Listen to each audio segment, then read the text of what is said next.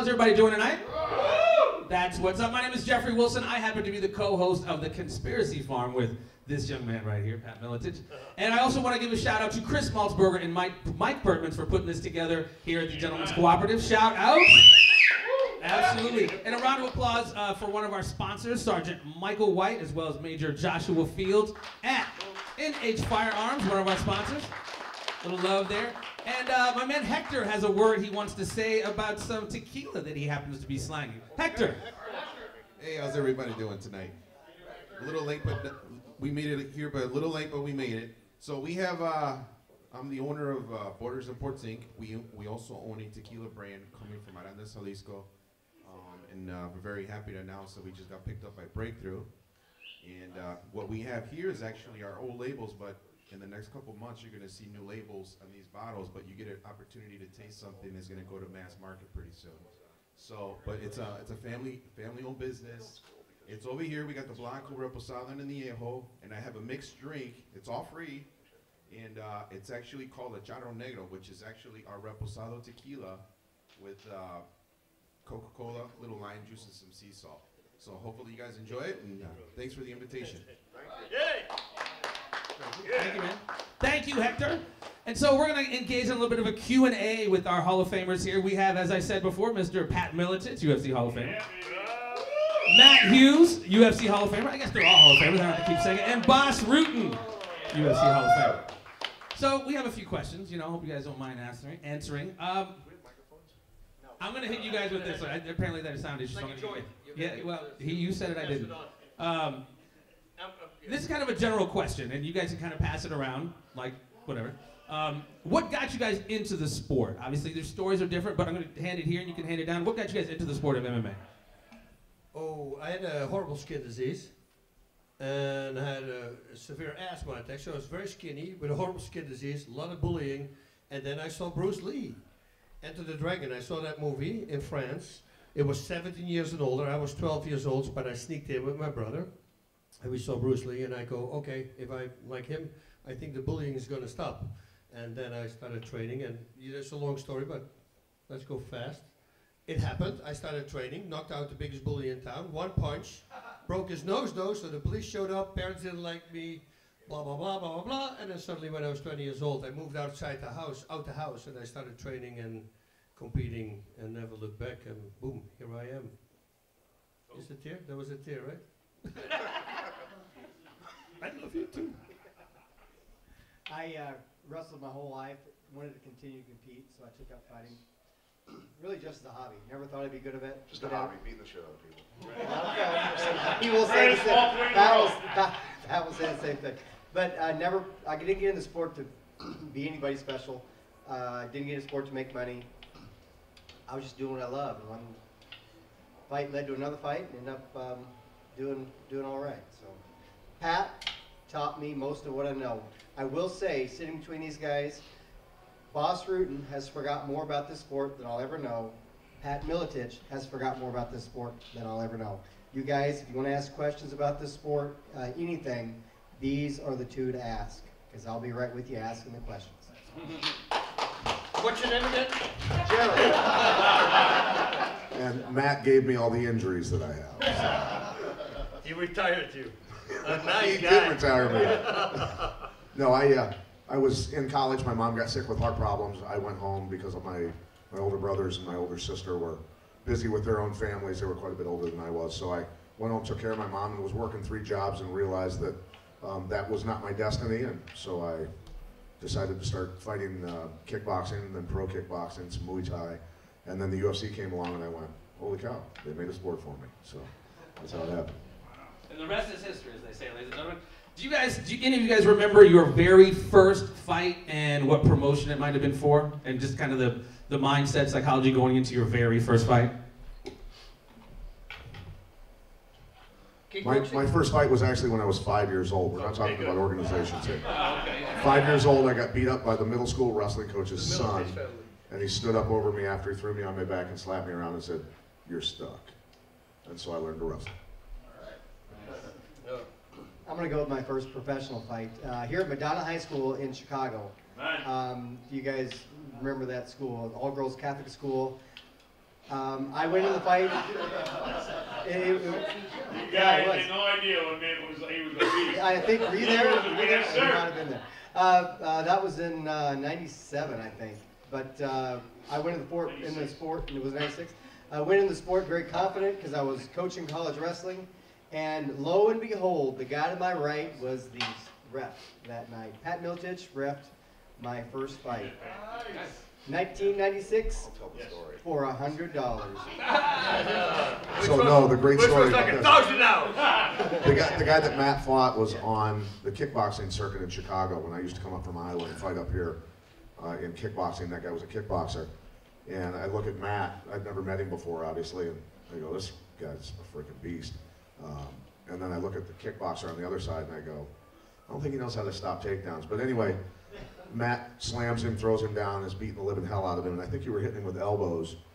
And he screamed, um, he screamed a really high pitched scream and then looked at me as he clutched onto Matt to try and stop him from elbowing him, and he, he looks at me in a totally panicked state and goes, "Is that legal?" And I go, I look at him and I go, "Yes, it is."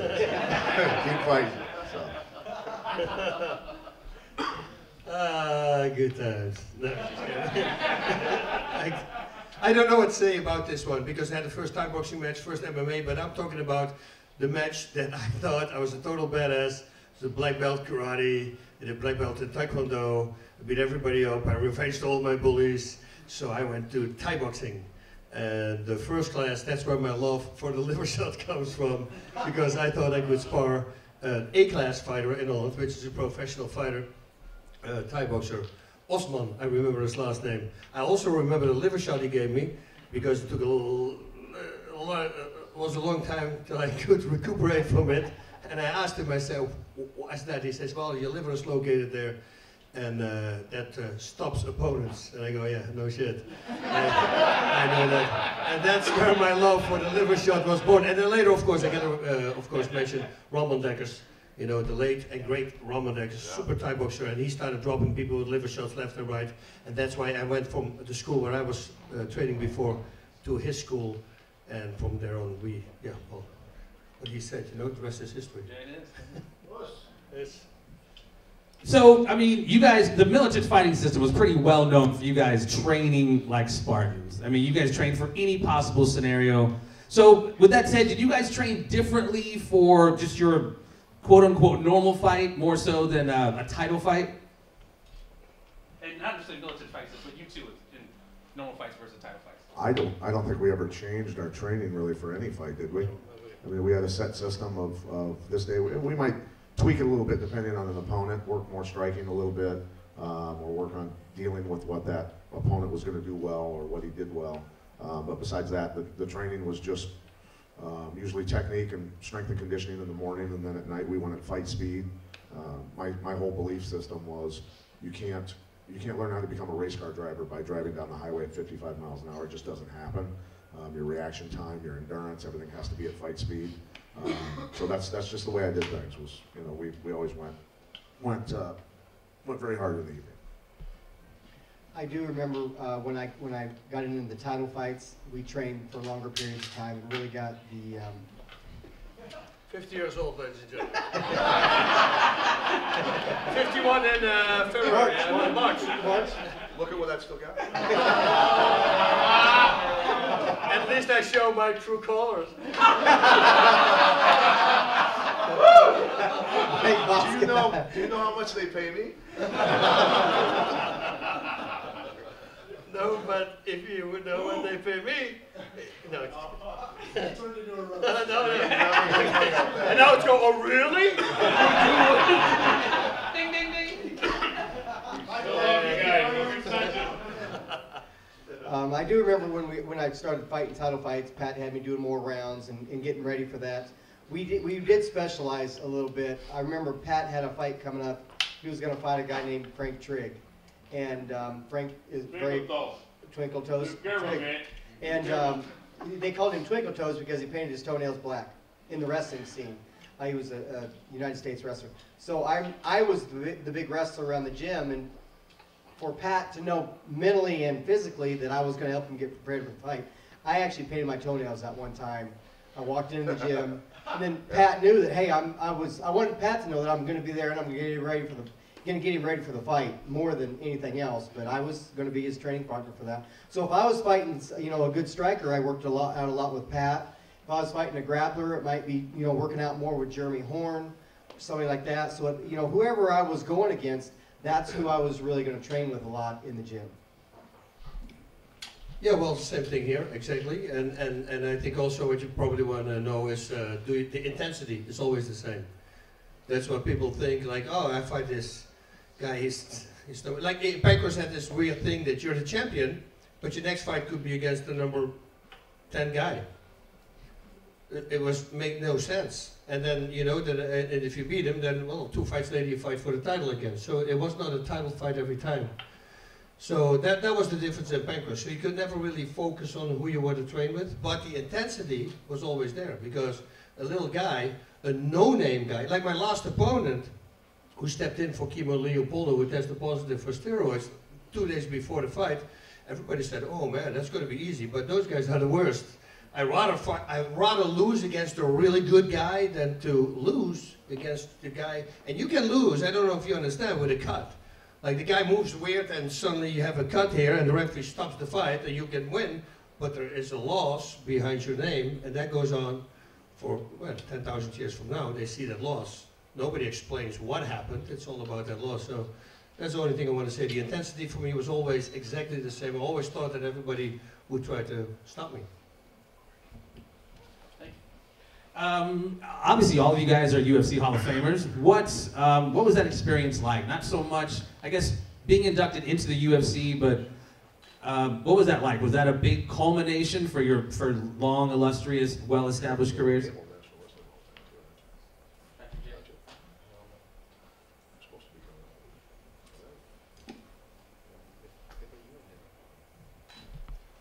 Well, you know, I, I'm sure there's some people in this room that know. Of course, Matt knows.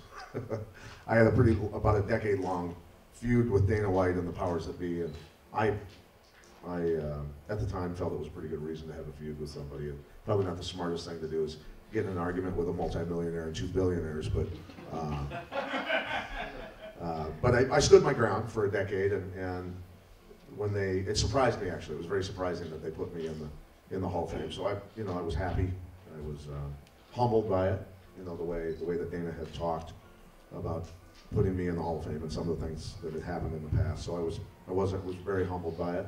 And uh, but being put in the Dan Gable National Wrestling Hall of Fame to me was, which happened before that, was a lot bigger to me because Dan Gable was my childhood idol. You know, my whole life read all of his books and watched all of his videos, his documentaries, things like that. So that guy was a god to me. So just getting to sit at the same table with him and hold a conversation was, was pretty epic. Yeah, yeah, You're gonna probably find this weird, but uh, I Don't really. say. Let me think. I'm gonna. I'm gonna. I'm gonna redirect. uh,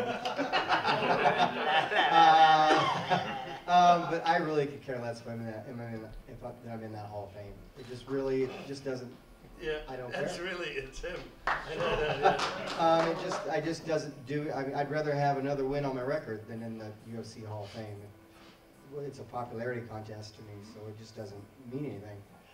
Um, but but I, I, I've had a lot of I had a lot of fun when there. I got to introduce uh, B.J. Penn into the Hall of Fame. I was there when Pat got in the Hall. Who introduced you? I think it was you. I think it was me. You've been hitting that. Hit that. But you I, I think it's more about the people who's back. Yeah, my yeah. You were there with me.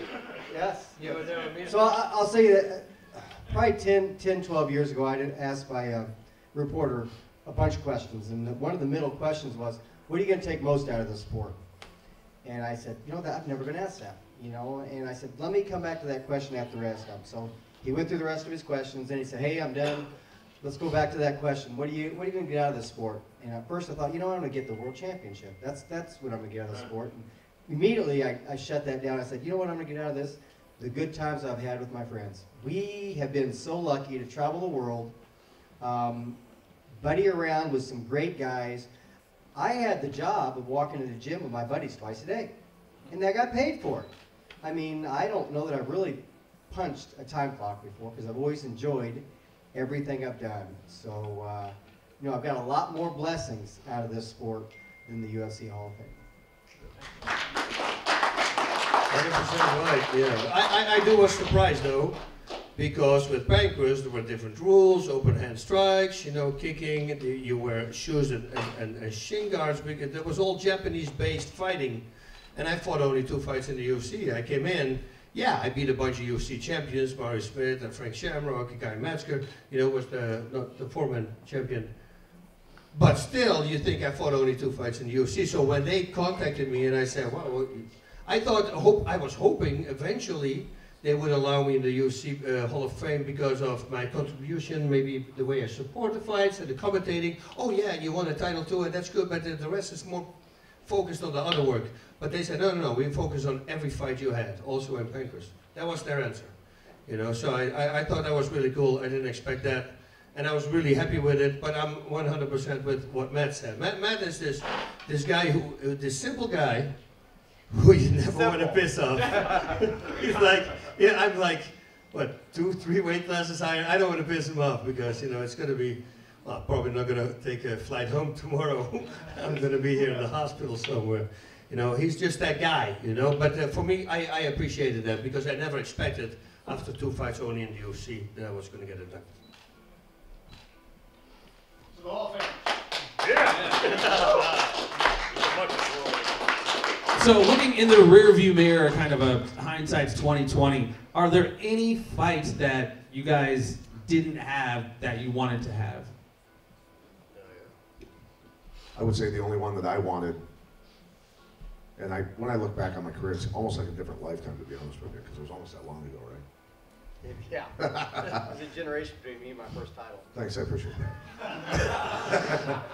but I, the only fight that I really wanted that didn't happen was I wanted to fight when I was UFC champion, and Frank Shamrock was UFC champion, a weight division above me. I talked to him several times and said, Frank, let's let's do a fight. Let's unify the belts.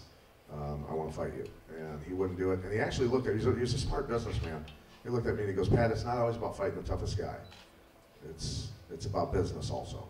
Okay. And he goes, and then when we were commentators at Showtime, I said, let's do a fight. You're fighting Diaz. I go, let's you and I have a fight. Let's do it. So that's that's the only fight though. It's right. Ah, darn.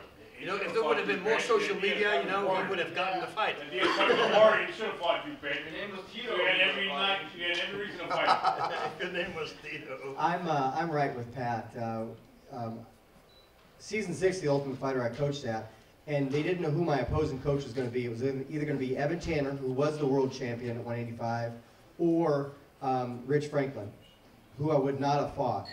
Um, if Evan would have won, I would have fought for the 185 pound. I probably would, might have weighed in even at 170 uh, at a 185 pound fight just to make a point. I thought I could beat Evan Tanner. I would not fight Rich Franklin because we trained together. I liked Rich, and to be real honest, he's got a style I really didn't want to go against. So uh, with that extra weight, I just didn't think it would be to my advantage. So uh, Rich Franklin won the fight, and I didn't. I didn't get to fight for the 85 pound belt and unify those two belts together. So that's that's the only time I wish I had had another fight. Um, Sakuraba was a big a Japanese guy. Fought a lot of guys. You know, he fought a lot of big guys, but he was right around my weight. I would have loved to to have went against him. You know, smart guy, uh, tricky, technical. Uh, I just think it would have been a fun fight for me. You know, trying to overpower a guy that's so technical and so slick. Uh, and Gracie, that was the one at the time. I it, and he was sitting at first row when I was fighting in the Budokan. And I just knocked the opponent out, and I was looking for him, and he was walking out. Well, I, I say, I want to fight you. Any rules, anytime. That would have uh, been a fight, and it was not. Everybody thought it was. I didn't like him. I just just thought that he was the best guy on the ground at the time, but not in MMA. And I wanted to prove him also. And this is going to sound really like I'm really stupid. I actually wanted to go to the ground with him. I just wanted to see if he could submit me. I just wanted to see that. That was really the reason for me to take that fight. But the biggest one ever that didn't happen, and it's so bad, it was against Ken Shamrock, because Ken is the last guy I lost to, and it's a whole conspiracy theory thing. For me, it is, and uh, Pat fits right into that, the conspiracy theories. We'll have to have you on the show. we'll go down the rabbit hole. But you know, the thing is that when he came to, I was commentating for Pride Fighting Championships. He came to Pride.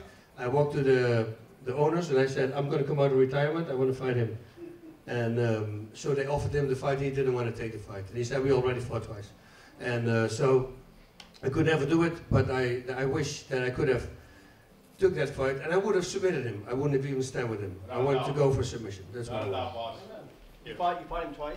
Twice and I lost twice.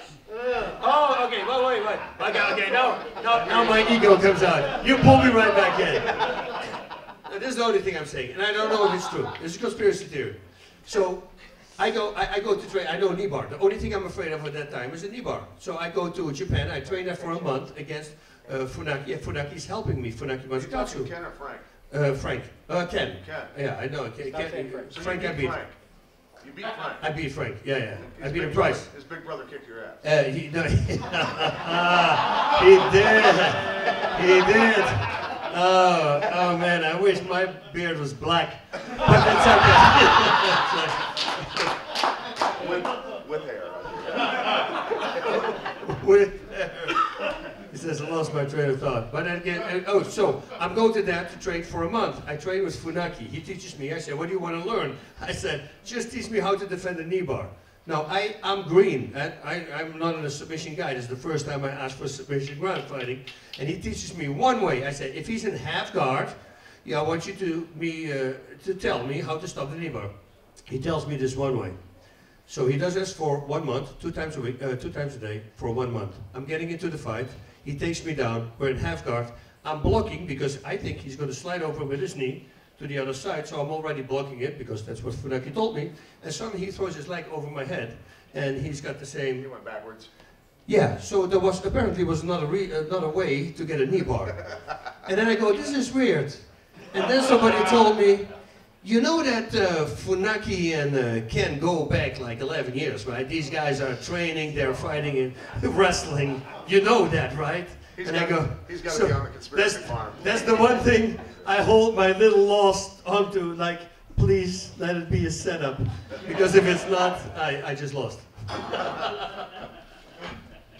that's definitely a conspiracy theory right there. Uh, so, quick one. Toughest opponent. Long careers. Each of you guys, toughest opponent. I'll make it fast. Every time I keep talking. You want to start? No, no, you go. Because I want to go fast. Okay. I want to keep everybody. My toughest opponent was a guy named Jason Nicholson out of the Lions Den. He weighed 218 when I fought him. I weighed about 185, maybe. I don't know, 180, 185. Um, he was a number one cruiserweight boxer in the world. He was actually a real good wrestler out of Oklahoma. Um, I took him down probably, I don't know how many times, but it, I was hallucinating by the end of the fight. That's all I, I remember. It was a very, very difficult fight. And also, uh, two nights in a row in Hawaii, you know our old former manager well, Matt, snored very loudly. I didn't sleep at all for two days. So they sleep in one room. I just want you to understand, that's the early days. That's when we were, yeah, we right? were. It's not like we're in first class everywhere. No, we Four don't that. guys in a room. First guys in the room. So my, our manager, Matt, Matt and my, uh, Matt and I had the same manager, Monty Cox, and he snored so loud that I didn't sleep at all. His all. wife wore earplugs every night. And I literally the second night was in tears. I was in the bathtub with a, with a comforter and a pillow, with my headphones on, and could still hear him snoring. I lost my mind, and uh, so I fought on two days no sleep. I won the fight, but it was a horrible. It was just a horrible experience. Toughest opponent would be one of the guys who beat me twice. Could be Dennis Hallman, which I would probably wouldn't say that. Uh, BJ Penn is a tough opponent, but probably the, the guy who, who was the best is GSP, no doubt. Tough, tough everywhere. So Dennis Hallman, your first fight with him, when you woke up, what'd you say? When, when everybody was looking down at you. So I'm fighting a guy named Dennis Hallman, never heard of him. Uh, go into the fight, I take a shot, like in 10 seconds, I take a shot. All of a sudden, I'm on the canvas, I open my eyes, and above me is the ref and my brother. And I say, I guess I lost the fight. when you, when you wake up in the middle of the fight, there's your brother. His brother told me. He, said, uh, "I take it I lost." Take it, I lost. Take it, I lost. But in your time, man, you were the greatest welterweight of all time. Say it again. Still again. is. If he comes in, he will still. You made I mean, he's still, he's still a puppy compared to us. I, I, I guarantee you I'll put my money still on him now, for real. I'm not kidding. You, you need like, you need like three weeks of training though, just three weeks. Three weeks. Just for you know, that's three weeks is very low. Top support. That was the opponent, Suzuki, uh, Funaki Mizugatsu, uh, Matsugatsu. Thank you. And uh, the reason is the first time he beat me was my third fight in Japan. Lost a lot. And then uh, I did. How are you up here? I did. But let's, let's see, like, wait, wait. Let's see, okay, how many fights did I win at the end of my career? Mm. Oh, 22? How, how many fights did you win at the end of you win Uh, 40, 47. 47? 47. No, uh, no, no, I mean, not, not, the, the la my last 22 I won. Oh, you won 22 in a row. Yeah. They gave you the ring. Ah, I tried to mess with him. He doesn't take the bait. This guy is unbelievable. No, Funaki, because I lost to him, and then, you know, uh, oh no, that was not even the question. Now I'm right back into the toughest opponent. Here we go. I, I'm trying to help him out. and I Well, that a lot. Moving on, I've mentioned this more than once to Pat, uh, Matt, and I'm not a lemming, but you, you, sir, there was a certain point in time where you, in my subjective, subjective opinion, were MMA. Your wrestling was off the chain, your, your jiu-jitsu was crazy, and your striking was nuts. So when you fought, in my opinion, when you fought Gracie, it was like this next evolution, which was, I, I thought you, what was your feeling when you beat Gracie with all of their lore, etc.? If you don't mind. Um, Royce, you're talking about. Royce, yes, sorry. I fought Royce in 06, uh, UFC 60 at um, the Staples Center, Staples Center in, in California. And I was really, it was a catchweight fight. You guys might not know that, but the, the, I had to wait at 175. They did not want him fighting for the title for some reason. So it was 175. I got to put on a lot of mass. I was really strong for that fight. Um, had a great pep talk backstage. Had a great prayer. I don't know if you remember that That was the night. greatest prayer I've ever heard in my life. So I mean, and post-fight prayer, both of them. And so we had was we had a great when when I, I you might not know this, but when I went to a fight, um, I kind of gave my guys pretty diem money. I said, uh, whenever you run out, come let me know. I'll give you some more. I wanted my guys to kind of be on vacation because when I gave them the call that says, hey, I got to fight so and so, I wanted them to be happy to come. Um, so I wanted I wanted a lot of guys there. I just I wanted to be more like a practice week than off in a separate town fight week. So I was really ready for Royce, and I kind of I kind of thought I was supposed to win. He's older than I am, but uh, you'll see if you watch the fight. As soon as I didn't really want to uh, go to the ground with him, something happened. He kind of got a, hold- grabbed a hold of me and I just grabbed him and I just threw him down at a, at a, at a reaction. And you can tell as soon as I hit the ground, I don't do anything for like 30 seconds.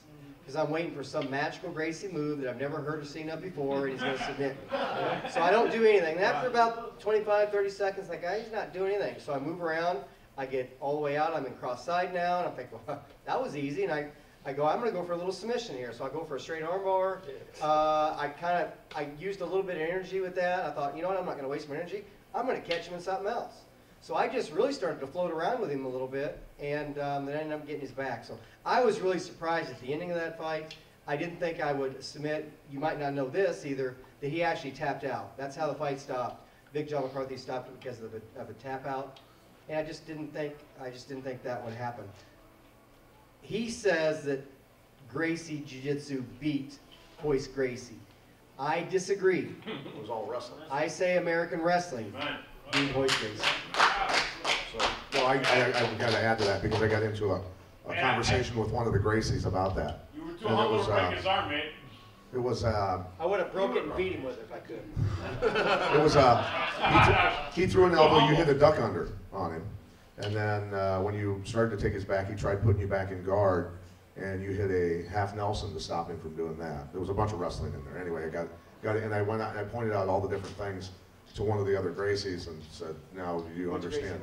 Was it? I, it was, uh, one of the bigger ones, one of the, one of the bigger ones.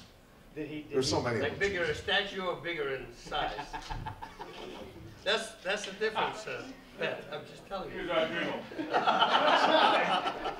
Right, you gotta have Halle Gracie or you gotta have a Helio. You know, it's uh, big, that's high, he's higher in stature than Halleck, but Halleck is taller. I'm just, That's me. Okay, continue. Details. This one here is for Patrick J. Patrick, uh, Pat, I'm sorry. Uh, Pat, how did you get into commentating for AXS TV? Good looks. Slow down. No, that was I'm not just it. telling you now from Bas. Talent? No, no, no, no. No.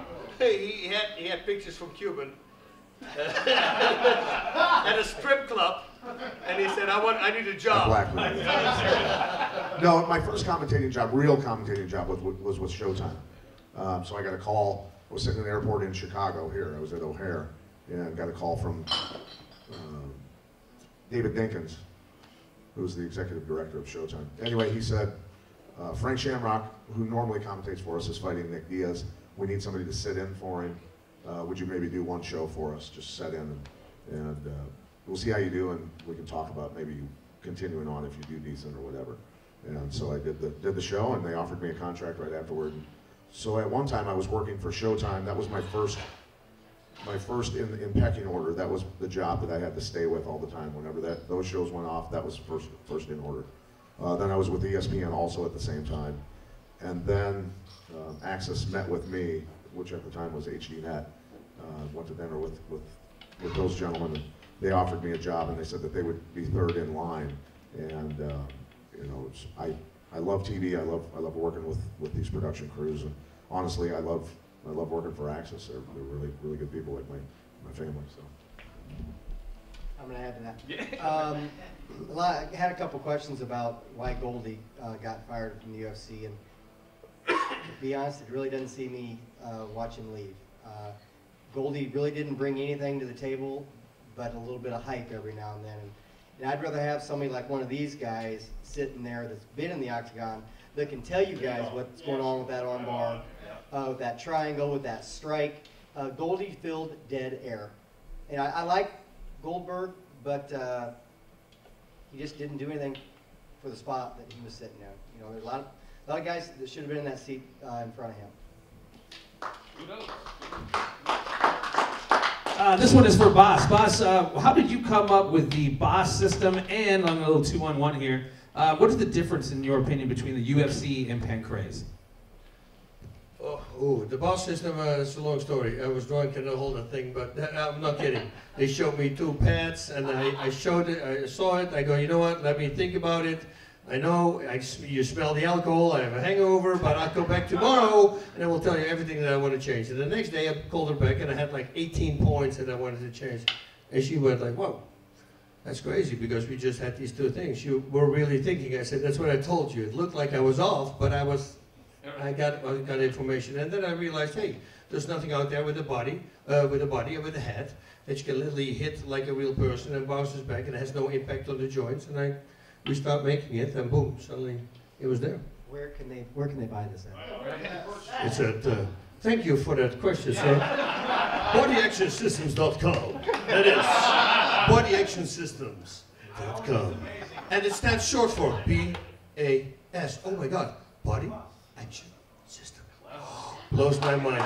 Okay, what was the other question? Difference And. Oh, I, I kind of said that. You know, UFC is just trying to destroy people, boom, boom, boom, with elbows and everything. Pancrase, there was a, a, there were rules that were made by kind of Japanese people because they're really good grapplers, and you know they want to take you to the ground. So what they do is let's fight open hand, no gloves because it's better for rear naked chokes and all the other moves that they want to do. Let's do open hand strikes to the face, uh, close to the body, close fist to the body. Shoes, oh that's great. Leg lock specialist will love when you wear shoes. You see, so it's all a little bit adapted to that.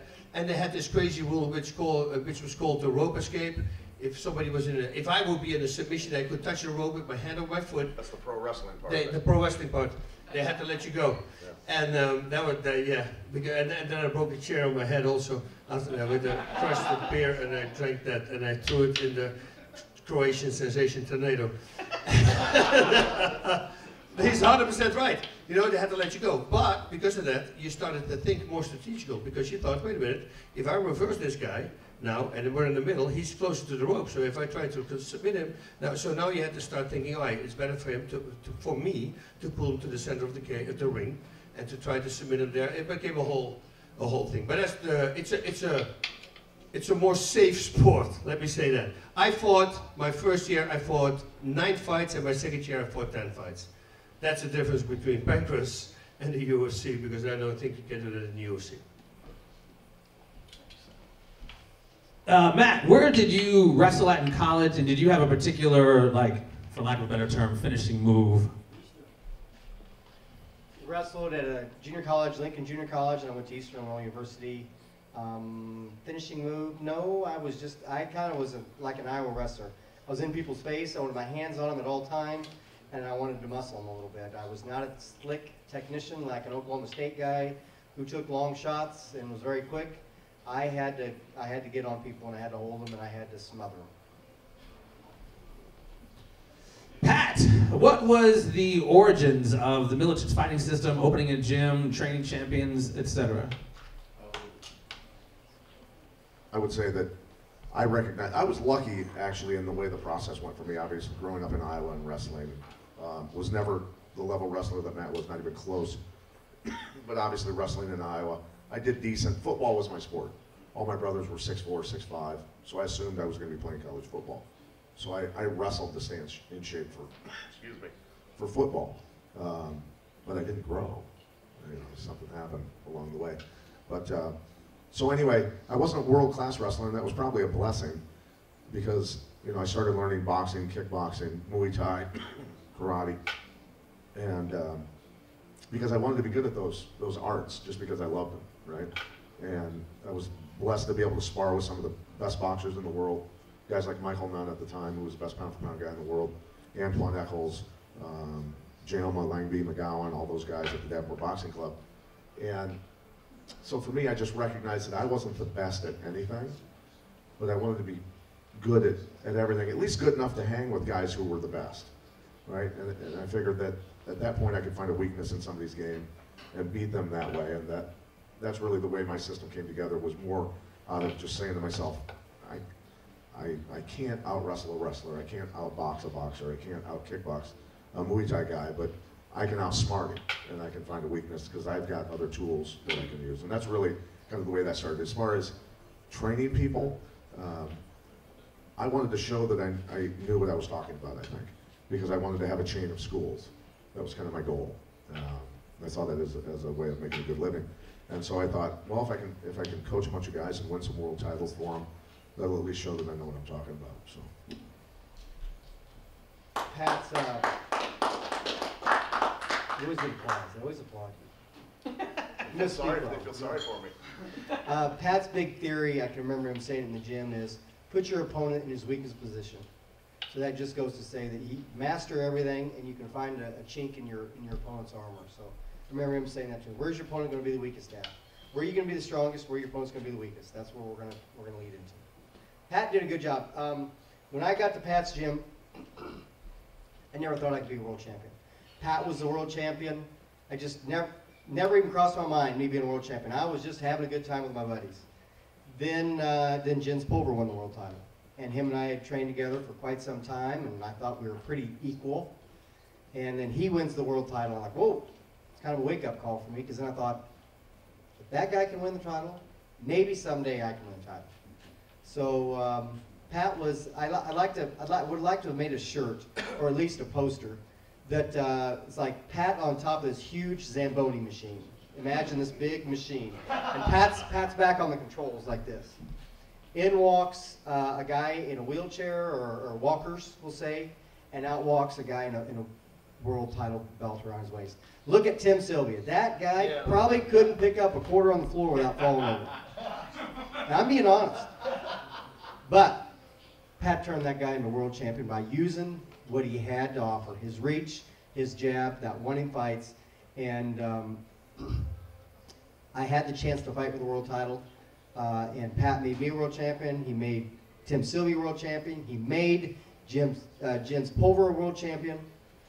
He helped uh, Dave Menne become a world champion. He helped Rich Franklin become a world champion. You guys don't understand how good of a coach this guy right here is. Yeah.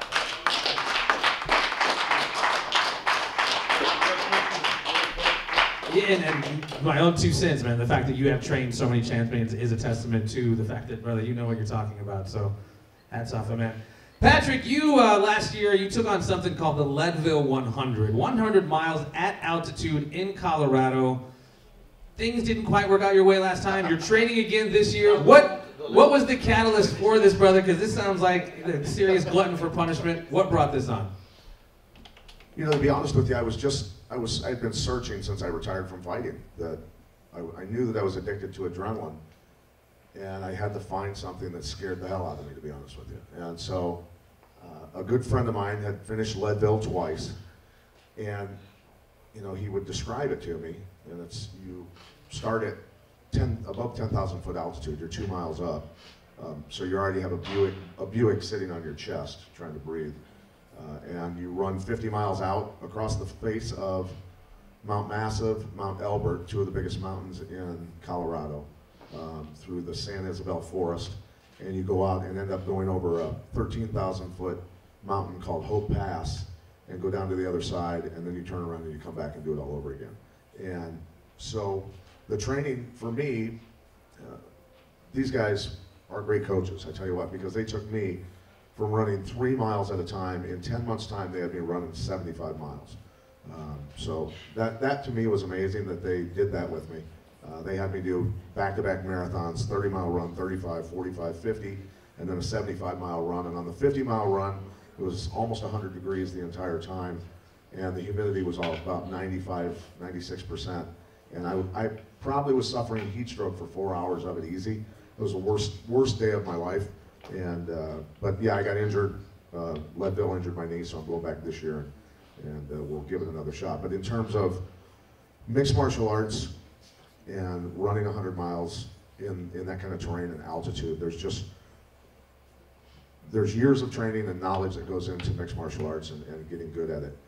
But that run, just that run alone, not even the, the, the run in Death Valley or the Western States and all these other nasty runs that these people do, it's the most intimidating thing and the coolest sporting event that I've ever seen in my life. It's, it's, and the people are amazing. It's, it's, to see people completely fall apart at the 50 mile mark and know they have to go back over that 13,000 foot mountain and to see them on the other side and they're brand new because they've been eating the whole time they've been running and drinking and getting rehydrated um, and see them come back together and finish a race, it's, it's nuts. These people are animals.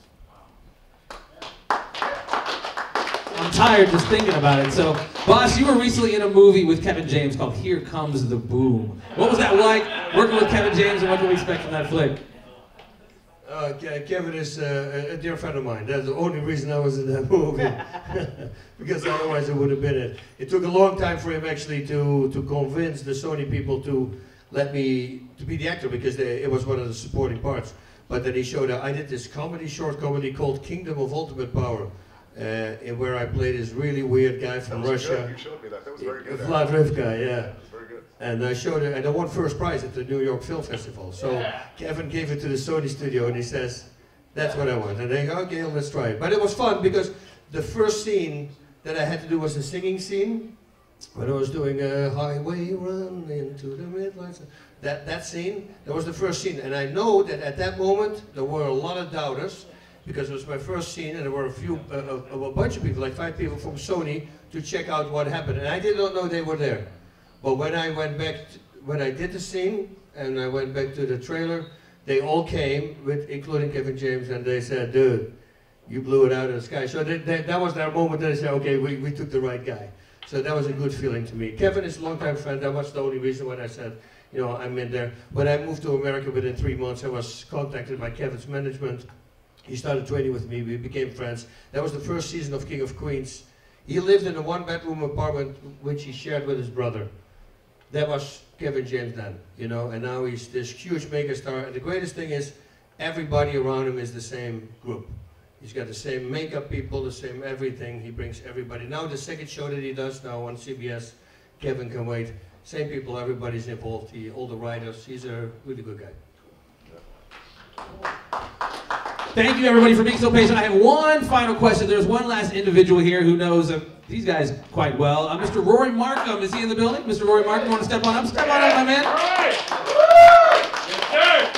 So Rory knows Pat obviously very well. He used to train with the Miletich Fighting System. Rory lives here in Chicago. The guy is just killing it. Been in like five movies. He's just absolutely killing it on stage and screen. Um, you have one uh, question that you want to ask this yeah, gentleman here, Mr. Pat Miletich. How's everybody doing tonight? Great. We had a little few tidbits through through the ages. There's always some funny stories. I don't know if anybody was out there. There's uh, semantics in between rounds. Carlos Newton. And, all right. Um, so things happen to us. Everybody wins fights. We all lose fights. You know what I mean? It's part of being a fighter. So in this particular instance, it wasn't our night, but uh, it was in Kuwait. Uh, and this gentleman right here, and this young gentleman right there, had fought that night, and it wasn't, like I said, it wasn't our night. Um, and there was a question Monet. that just, You just and Monet. no, it was you and Kuwait. Oh, that was uh, in Atlanta. It was Kuwait. You fought- Because You fought Pele and Wade. 50 years Monet old, ladies and gentlemen. Oh, I fought, yeah, they, they fought in the same tournament as you Yeah. in Kuwait. Yes, Yeah. correct. So, in, in Kuwait, it has, it has a kind of a, a character in the story. So, Pat gets ba- uh, Pat and Matt get back to the locker room with Monty Cox, my, our manager at the time. My twin brother was there too. Yeah, and uh, Mark uh, plays a, a major role in this. So, uh, you know, Matt, Matt had asked, like, you know, before he had asked, he looked up at, uh, you know, Mark, and I guess I lost the fight. Well, in this particular instance, you know, um, we had lost, and uh, Matt had gotten KO'd, and you lose a little bit of time when you get KO'd. That happens. You, you forget what happened. So naturally, Matt had asked Pat, "What, well, what happened? Who'd I fight? Fought Pele. Uh, I think I lost. How'd I lose? How, how did it end? Flying knee. How did I- Hey, Mark, I got you those shoes for Christmas, man. got them. You know, 35 seconds goes by. so I just fought. I lost, huh? Think I lost? Yeah, you man. You, lost. How'd I lose? Flying knee. Flying knee got you flying. How long? How long did the fight last? How long the fight? Yeah, it About was, five, was- about five minutes. About five minute mark. Hey, Mark, I got you those shoes for Christmas. all right, Matt. And now, and Pat's getting, he's, he's kind of losing his mind a little bit. He's starting kind of, all right, we got to get this guy out of Kuwait here. We got to get this guy out of Kuwait. So third time goes around, Monty Cox is standing there, and it goes to the, the norm. You know, how to get KO'd? Did I lose? Who did I fight? How many seconds? And then he goes to Mark, and he goes, hey. Monty goes, oh my God. He goes, you got Mark those shoes for Christmas? You, Pat, you're right. Let's get him out of here. so you lose time, but you all come back. He's, he, he went on to become a world champion, and um, I am absolutely tickled to death, honored to be here, and honored to be among my, my friends. And something that I really take pride in life is to be able to call these men peers. And that's, um, you know, a lot of people were saying how they got their, you know, start in fighting. And I ordered tapes from Japan in the dark ages of the UFC, and I looked at the TV and I brought my mom in the room and I said, Mom, I'm gonna train with these guys one day and I'm gonna make it and all these things. And she said, you know, follow your passion, follow your dream. And once she saw I was with Miletich, she knew all was right in the world. So, uh, ah, everything's good tonight and um, I hope you guys are enjoying yourself. Pull these guys aside, there's plenty more stories like that. I'm Roy Markham, thanks. Hello, I'm Michael White for NH Firearms LLC, and we're talking about our products, the AJ1 and the AJ30. These are 300 blackout systems. These are designed by operators, built for operators. We built these products with the intent of special operations community, law enforcement, and the disconcerted shooter. We had input from gentlemen such as Tim Kennedy, Michael Woodland, Colton Smith, John Rinkin. And with their input, we built a superior product designed to get the job done. If you're interested in this product, you can visit at NH Firearms LLC on Facebook. We're going to open it up here. If anybody has any questions, this gentleman right here has a question. Are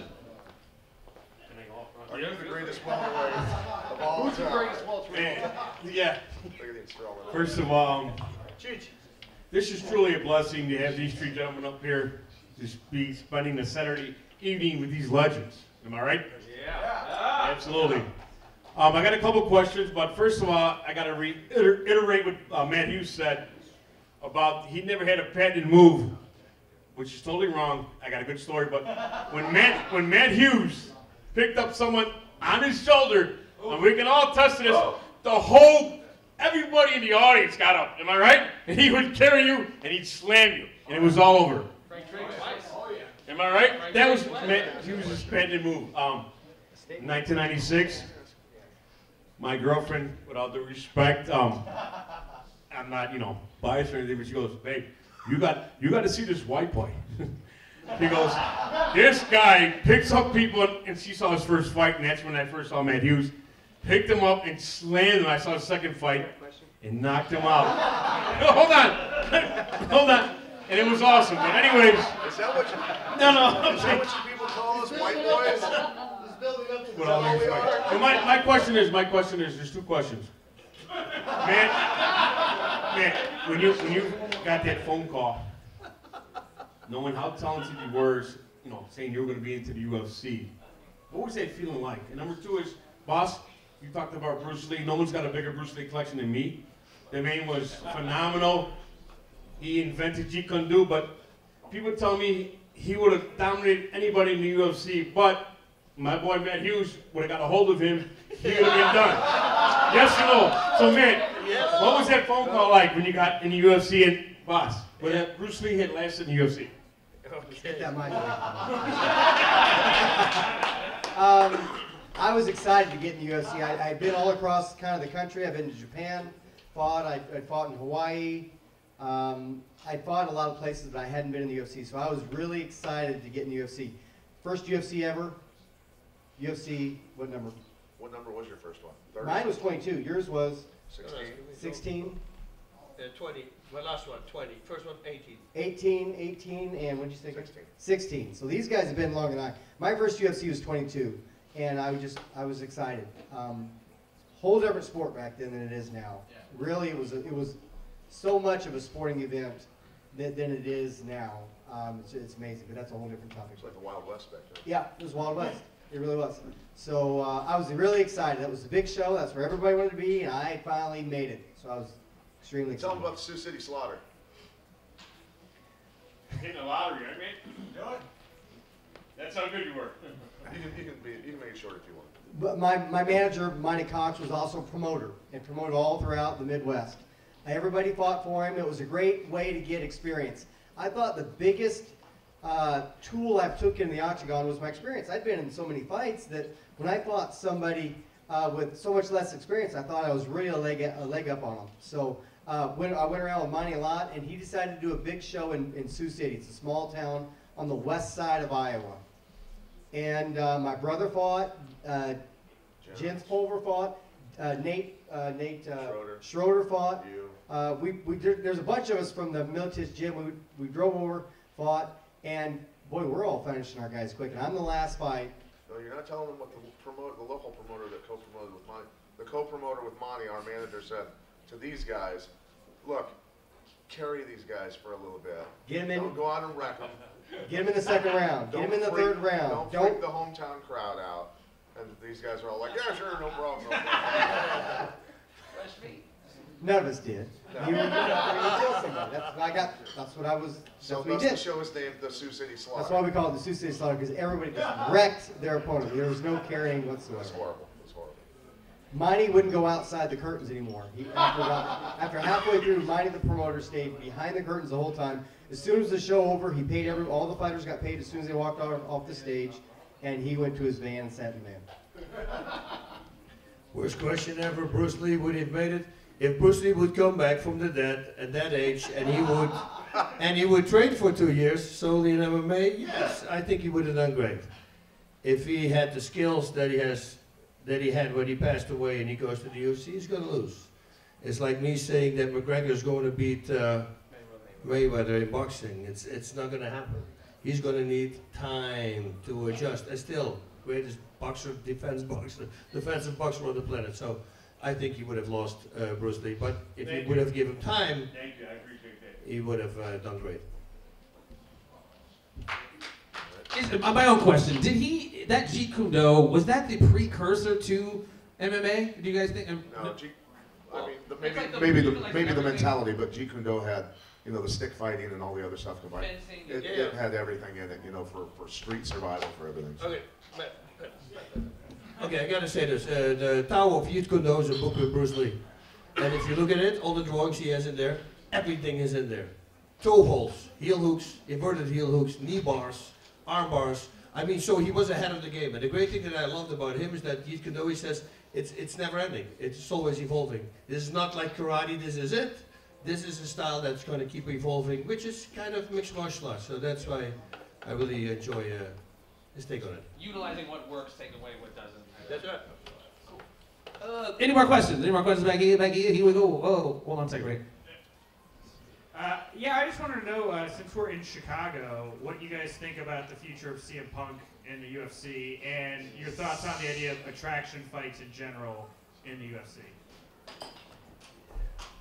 The fan fights versus the ranking fights. We talk about this often on uh, Pat. Uh, I, it's a hard thing for me. I mean, it's it's complete two, uh, two complete different things. You know, it's uh, it's it's pro wrestling and it's fighting. You can't compare that. Don't even think that it's even close. You know, it's uh, he's got the power of being in front of a, a crowd and knowing how to be relaxed. That's that's the greatest thing that he has. But still, he's a beginner fighter. That's it. You know, he fight, uh, went up against Mickey Gall. Mickey Gall probably had four years more experience on him. You know, yeah, you're gonna lose. It's it's just the name of the game. Exactly what he said. Hey, we got one from my big brother, Lance Wilson. What's up, brother? Just kind of curious, um, like a state of the sport as it is today. Bellator, UFC, new management, sponsorship, Reebok, just kind of where we're at as far as, uh, like I said, the state of MMA in 2017. Sorry, someone give me booze. Well, the thing is, uh, i- i- if somebody else would have been smart, you know, if you can hook up with a prince, and that's why the UFC, I think, uh, asked him as a, he's a, him as a partner, because if somebody who's a billionaire who's going to say, hey, let's throw some money at this thing. Let's promise uh, every whatever fighter uh, in the UFC makes, uh, let you make hundred thousand, you come to us, you make two hundred thousand. Just do that, or triple it. I mean, eventually you're going to get your money back. Eventually everybody's going to come to you. In the long run, you're going to win that. And- But that the problem is, of course, UFC is going to put their money up as well. But it's going to be great for the fighters. But if there's one strong guy out there, a billionaire, who throw, and especially like a prince from the Middle East, well, it's like, I mean, we're talking about a trillion, you know, then, know, they always win because the fighters go where the money is.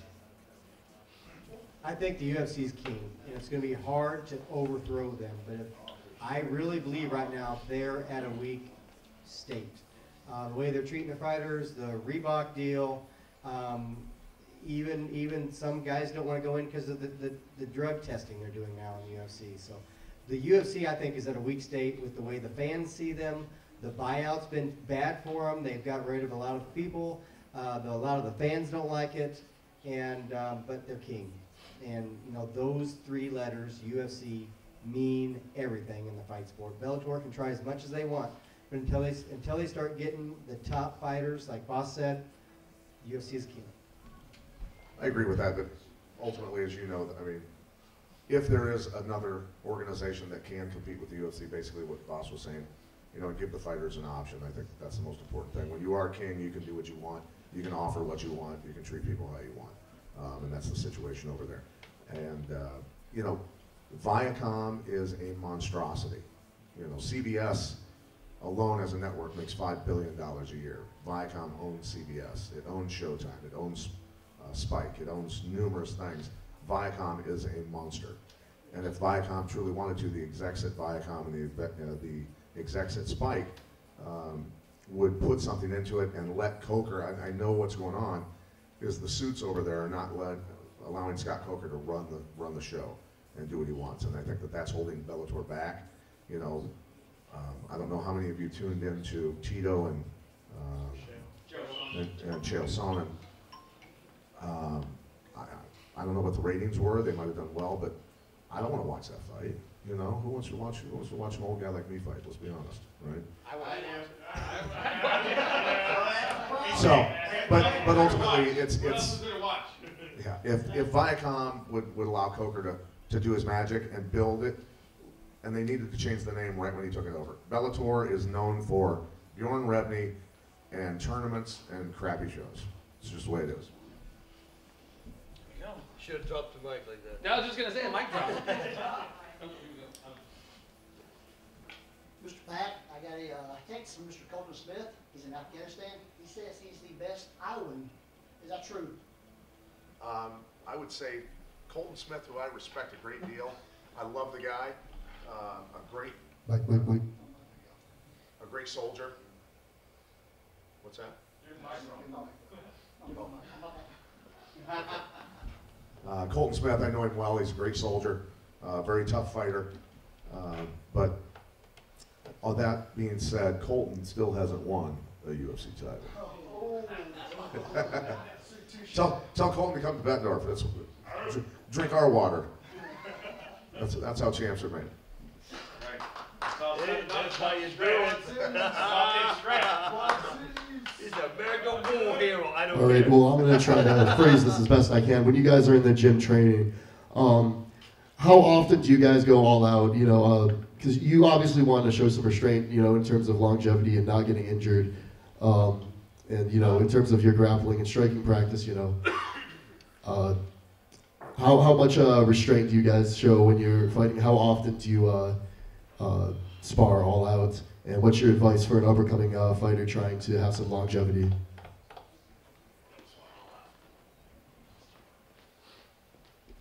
You know, back when we were training hard, what Mondays were a lot of times takedowns and then grappling when everybody looked like they were getting tired and I didn't want guys to get hurt. We started, people started getting sloppy.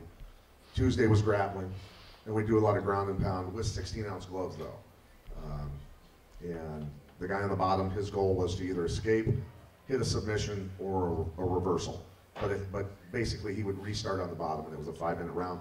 Then you'd hand um, hand your partner the gloves, he'd go on top for five minutes, and we'd go back and forth doing that at the end of practice when everybody was tired. Monday And- was also takedowns strike, striking. Right, right, striking with takedowns. Wednesday was just kickboxing, all out, but we wore 16 ounce gloves, headgear, shin pads, things like that. People still got knocked out, uh, people still got rocked, but there was no holding back. Trust me, when No knees or elbows. yeah, we weren't throwing elbows and knees. Uh, but, I mean, when he was on top of me for five minutes doing ground and pound, he's not holding back. He's dropping bombs on me. Um, that's that's where I said you can't drive 55 miles an hour down a down a highway and learn how to be a race car driver. It just doesn't work. So, gotta go hard. Best advice for an up and comer, find a good gym, get a good manager. That's, that's key. Um, yeah, he said uh, the training perfectly. Uh, make sure that you have great uh, training partners. That's the whole key to success here. We, we when I find out uh, that guys, great fighters, I'm not going to mention name, they say we spar once a week. They spar once once a week only. I said, so I go like, whoa. I said, what do you do? I said, well, ten times a week. And they said, what do you mean ten times a week? I said, well, we work out, and after every workout we spar five, six, seven rounds. You know, because that's what you're going to do. That's what I always thought. But I had great training partners, so I had guys that I could go full on with. We won't knock each other out to the head, but you better believe it. I'm going to try to drop you to the body, but they, they do too, and also to the legs. They will go full power. If there is a problem, if it kicks me too hard, maybe I, my muscle is relaxed because yeah, you guys probably don't have a clue with it, but if you flex or non-flex, that difference is about a hundred times. you know, it's not like you go from no, you go from no pain to 100% pain. So if that happens in training, you might hurt your legs, you know, and then you don't want to get kicked anymore. And then the ego needs to stay down. You say, hey, that hurt. Let's not kick this leg anymore. And if you have good sparring partners who can control that, then you have no problem. I we never had a problem with uh, injuries, and we sparred every day, two times a day. We did, uh, we sparred a lot. Uh, there was a lot of times where we did light, uh, light heads. We didn't hit heavy in the head, but the body at our gym was always open. Pat's dropped me many times. Got me too. You got me too. No, the way the way I look at it, it was more like Wednesday night was all out. People were getting blasted, body, head, everything. Um, but if somebody got rocked, then then we wouldn't we wouldn't be malicious after that. If somebody if I noticed somebody was staggered from a shot I hit them with, I'm not gonna just go nuts and try and knock them out at that point. I'm gonna back off. So. Yeah, but you, you guys had also takedowns with full on that on the ground, right? You see, we didn't do that. We did that in, in striking. So, you know. Also, start off by saying all three of you are legends, and uh, I've been following your careers ever since you started the UFC. Uh, you know, great stuff. Uh, you influenced my participation in jiu-jitsu and, and martial arts, uh, and I want to say thank you. And so, speaking of training partners, right behind the scenes, who was that one person that was there for you in the gym, like driving you, uh, training with you all the time, that influenced uh, either the technique that made you think you could be a champion, or uh, you know the cardiovascular endurance that was enabled you to, to be who you are today. Uh, that was always there for you behind the scenes that nobody else knows about. Who was that one person? Uh, Leon van Dyke, that was my guy. He actually knocked out Evan Tanner with a front kick to the body in, uh, in Pancrase. He was amazing. He was a guy, 125 kilos. What is that, 280 pounds? Bicep curls. Good luck with that. Right? So I would armbar him and would literally curl out. He was so insanely strong, so I had to make everything perfect. We didn't know anything. We just started training.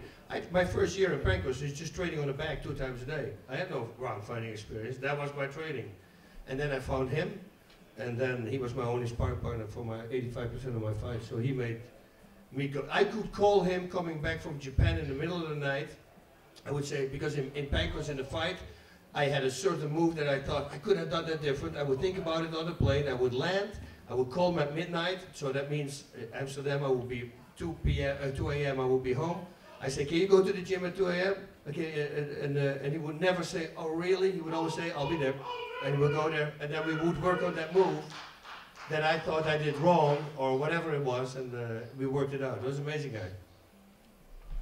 Jeremy Horn, master on the ground. Yeah. Chuck, no, Chuck Liddell, I was there. With the triangle. In Pride, right? No, that was UFC. UFC. Yeah, that Chuck's was first UFC. loss in the UFC. Yeah. But also a great striker. I can remember him holding the bag for me and say, you step too shallow, step closer to me, step farther away. He just took a lot of time with me early in the day. Pat was always there, but he was always in the light. Jeremy's had over 100 fights. A lot of people don't know that. 150, Over 150. Yeah, Jeremy was great. Jeremy was great, and a very cerebral fighter. He was the guy that drank Mountain Dew and ate hot dogs. I used to yell at him constantly about what he was eating. And when we'd be running the hill, he'd be puking, ch- puke would be rolling down his chest on the way back down the hill. But he'd turn right around and go right back up. But uh, yeah, Jeremy, Jeremy, master technician, definitely. And uh, but it was a, you know kind of a, a team effort. I mean, there was a time where I, I checked my weight an hour before weigh-ins one time when I held the UFC belt, and I was 10 pounds overweight an hour before weigh-ins. And Matt and Jens took me Iowa? Mhm. Iowa State. uh, in Cedar, Ra- Cedar Rapids, yep, yep. and they stuck me in a steam room with an Airdyne. Bitchin', this guy was. Lose 10 pounds in an hour sometime, the last 10 pounds. So, uh, but I got the weight off, I got on the scale, I weighed in at 170, won the fight, and uh, kept my Yeah, title. So Martin, that's the kind of stuff that teammates do, you know. So. Well, talking about teammates and people you guys know who were beyond intense, man. 2016 was obviously a, a rough year for a lot of people, but you guys all knew this individual who we lost last year. If you guys don't mind, and I don't mean to like bring it down, but just a testament to this guy's intensity. If you could tell me your own personal story of Kevin Randleman. you know, Kevin was always gregarious, always had a smile for me, loved hanging out with him, and uh, I used to yell at him because he was one of those one of the greatest wrestlers that you could ever imagine, one of the greatest athletes. Um, but we used to talk about it all the time over at Hammer House. They really didn't have a whole lot of technique. They were just incredible wrestlers, and uh, didn't never learn the whole spectrum of the sport. And I wanted to train him so bad, um, you know. We talked about it a lot, but no, he was he was a sweetheart of a guy. He was uh, really really genuine human being. So yeah, it was sad to see him go. Hey, Pat, didn't, didn't we thought he killed uh, Well, uh, Fedor? Fedor, yeah. I thought he killed. I H. thought he broke his neck. Yeah, it was Red- crazy. Kevin Randleman They got one tapped time. out two seconds later. goes- Unbelievable. Think of Fedor, man. Uh, Pat said it real well. I wouldn't. It's hard to use a UFC fighter as a sweetheart, but the guy was a really good guy. Didn't know him really well. Pat knew him a lot better than I was. Just a good, genuine guy. Two-time national champion at Ohio, Ohio State. and uh, yeah, Ohio State, and um, UFC world champion. Yeah, well, we got very close. Uh, Literally. First time, yeah, I met him. I was in the ring with the, in the cage, and I think that was all the way back in Alabama. I think you were there, and they made pictures of the fight that was next time to come, and it was him against me. No, Birmingham. Birmingham, yeah. And um, and I remember I go to the uh, to the hotel, and uh, I'm on the second or third floor, whatever it is. It opens up. I have to go down, and he's in the elevator, and he's um, who I'm fighting the next day. And I said, where you going? You going up or down? He says, down. I said, okay. So I get in, and we're both turning to the your doors, and you, you can see the mirror, you can see yourself. And uh, he says, how are you doing? I said, I'm doing great. How are you doing? He says, I'm doing good. And then he said, if you promise to keep your feet on the floor, I'll promise uh, to not uh, take you down. And I go, really? Yeah. He goes, okay. So then the fight starts the next day, and the first thing he does is, what's the fight? The first thing he does, come here. Like, kick me. and I go like, I'm confused now. you just told me. It sounds, it sounds legit to me. Told you couldn't, you couldn't kick him back. So I go, okay. Idiot. I kicked, and of course he took me down. Right? he got me. He was so smart with that. That was so funny.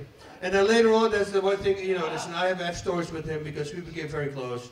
We went to the wedding with my whole family. My kids love him and his wife Elizabeth. And you know, we had this really great thing, the, a volleyball. Everybody had a hangover the next day, a volleyball tournament in the water. You know, I mean, it was hilarious. I choked one out of uh, uh, a guy out, uh, the brother from Elizabeth. He was a bouncer, and he started aggravating me the whole time, but for fun, you know. So I choked him out, and it, it, was, it, was, it was an awesome time. But this guy was really, he was a truly amazing guy. I, um, you know, I have only good memories with him. Um, yeah, yeah, I love the guy. He's good. Thank you guys for being here, by the way. I really, I love MMA. I'm a real fan of you, all of you guys. And this sound, this might sound a little bit sappy, I guess, but I, I find fighters and people willing to get in the cage and really battle it out to be some of the purest people on the planet. And I wish you guys were running our government, honestly. But, but, but I don't know. Yeah. Pat, Pat for sure. Maybe Matt. But I want to know. I'm curious what you guys think on a more holistic scale of like what you like for humanity, what you wish, wish what you wish you got from people, what you want out of the world. So that's a deep question, and and I know that. But uh, I know Pat, you think about it all the time. But I am curious. You know, I know you guys are Christian men as well. So uh, you know, I'm just curious what you guys think about what you'd like to see in the world. I'm just gonna let you know right now that I'm probably just gonna pass the mic because he's gonna say everything I want him to say. Miletich 2020. So uh, I'm just, we, we agree, we line up on just about everything. If, he, if I disagree with something he says, I'll let you know. You know, I mean, that is a deep question. That's I, you could go on forever talking about a subject like that. You know, I could be political or non-political. I could, you know, take that in a million different directions. I think that um, obvi- obviously the people that do the research um, know that the wars are being fought for other reasons than what they say they're being fought. Um, I think that government subsidizing everything has, has ruined everything. I think that um, there is no capitalism right now.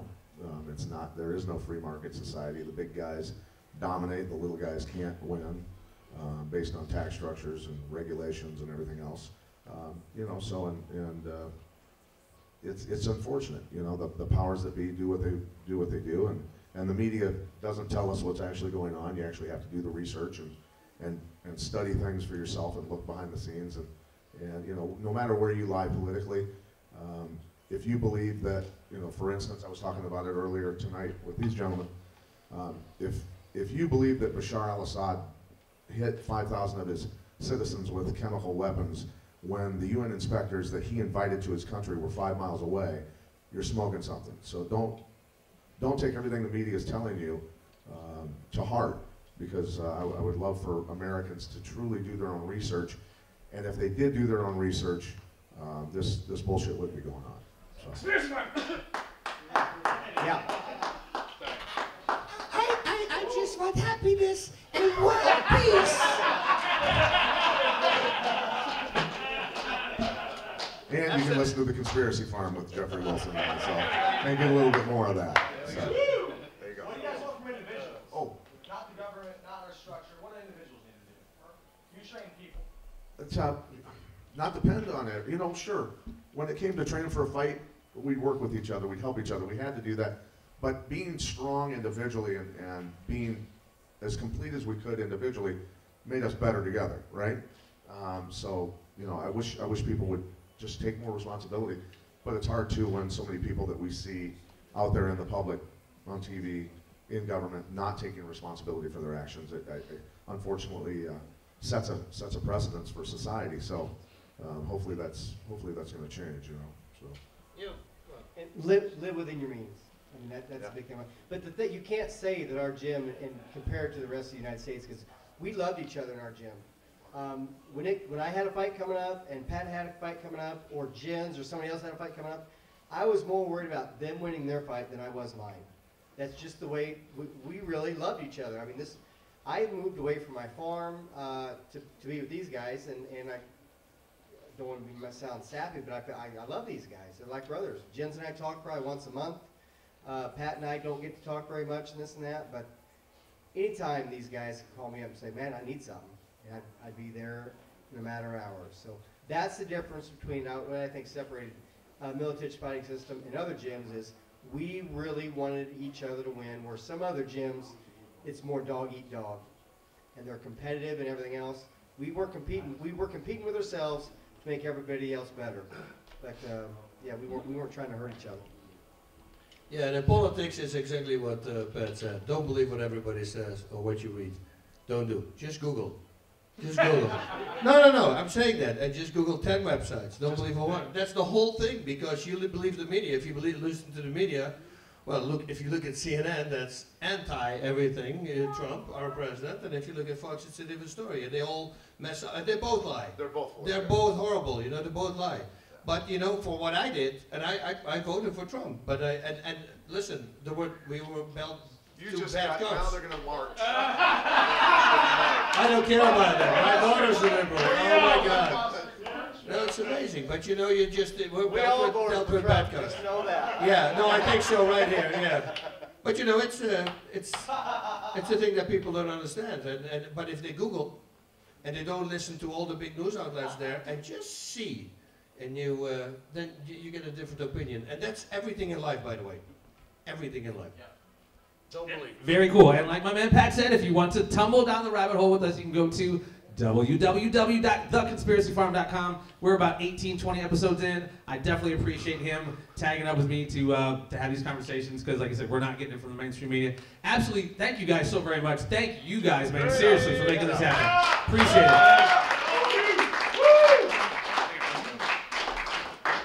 Hello. Yeah. Hey guys, again, I just want to thank Michael White, Josh Fields from HR Firearms. And anybody's interested, Hector over here with the tequila company, if you write your name down, he's giving out three bottles of tequila. So if you want to get in a free raffle, Hey, totally free. He's giving out bottles of tequila. Make sure you write your name down. And uh, again, thank you, Matt, Pat, Bas, Mike, and everybody else for coming. I really appreciate it. The fights are going on. Enjoy yourself.